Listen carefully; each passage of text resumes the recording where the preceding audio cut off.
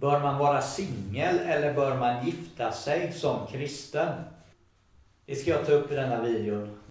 Har man den gåvan som Paulus hade i eh, Nya Testamentet, att kunna vara singel, att kunna hantera det.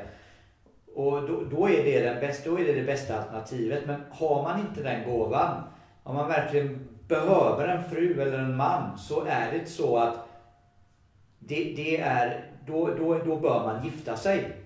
Jag ska läsa vad Paulus skrev i första Korintierbrevet kapitel 7, vers 1-2. Det är visserligen bäst för en man att inte röra en kvinna. Men för att undvika otuktssynder skall varje man ha sin hustru och varje hustru sin man. Så att det bästa är som sagt att om man kan vara singel, att man är det. I första Korintierbrevet kapitel 7, vers 7-9, alltså det vill säga några rader ner läser jag ifrån nu. Där skrev Paulus, helst skulle jag vilja att alla människor vore som jag. Men var och en har sin gåva från Gud, den ena av ett slag, den andra av ett annat.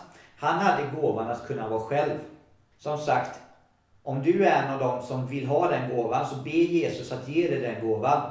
Du kommer få utdelning för det när du väl kommer till himlen. Men det är inte fel att gifta sig. Det är också en gåva, fast på ett annat sätt. Så att det, det, det är ju den gåvan som de flesta vill ha. Att, att få någon att gifta sig med. Men det finns de som inte väljer att göra det. Och eh, de kommer få lite bättre utdelning i himlen. Eftersom att en, en som är singel får ju mer tid att arbeta för Guds rike än en som har en fru eller en man att ta hand om. Så att därför så är det så att i många fall så kan en som är singel få mer utdelning i himlen än en som valde att inte vara det. Så att det, det finns båda slags gåvor. Och eh, jag läser vidare. Till de ogifta och änkorna säger jag att det är bäst för dem om de förblir som jag. Men om de inte kan leva avhållsamt skall de gifta sig, eftersom det är bättre att gifta sig än att vara upptänd av begär. Så det finns de som är själva. Och Jesus sa i Matteus kapitel 19, vers 12. Det finns de som inte kan gifta sig därför att de är födda sådana. Och de som inte kan det därför att människor gjort dem sådana.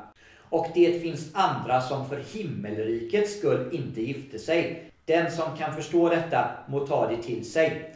Så det finns de som helt enkelt eh, inte vill gifta sig. Men som sagt, det är inte fel att gifta sig heller. Det är verkligen en gåva på sitt sätt. Om, om det är så här att man har gift sig med någon, får man skilja sig och gifta om sig med någon annan? Svaret är att det får man endast göra om den man är gift med har varit otrogen. Annars har man ingen rätt att göra det. Och man får gifta om sig om, eh, om den man har varit gift med har dött.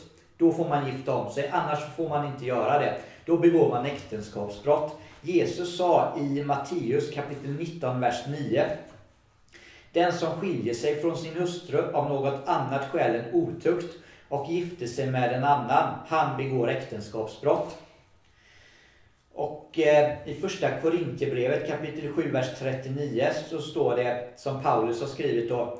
En hustru är bunden så länge hennes man lever. Men om mannen dör är hon fri att gifta om sig med vem hon vill, bara det sker i Herren. Så att har du några frågor när det gäller giftermål och så vidare, så be till Jesus och han kommer svara dig. Gud välsigne dig